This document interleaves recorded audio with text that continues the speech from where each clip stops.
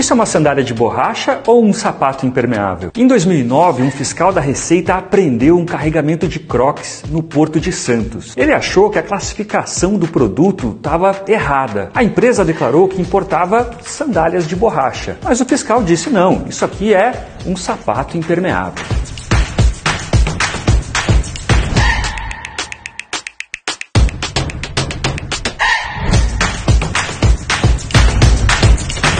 O caso foi parar na Camex, que concordou com o fiscal. A empresa teve que pagar uma multa e passou a classificar o croque como sapato. Mas seis anos depois, outro carregamento foi retido no porto. O novo fiscal achou o contrário. Isso aqui é uma sandália, claro, é aberta, tem furos. Como é que vai ser impermeável?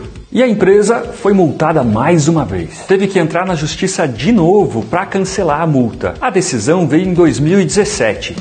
Croque é sandália.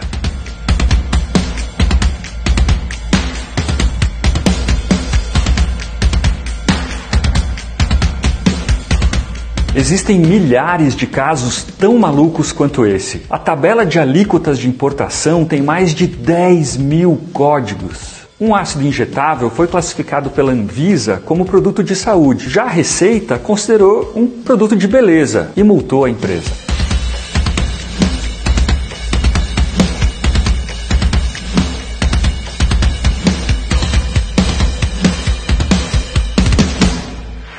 Como cada município e estado pode criar suas taxas de ICMS, as suas isenções, novas regras surgem todo dia. Na verdade, mais de 700 por dia. É tanta regra que nem as autoridades se entendem. Se a empresa obedecer um fiscal, acaba multada pelo outro. Chocolate recheado com biscoito paga um imposto, mas biscoito recheado com chocolate paga outro.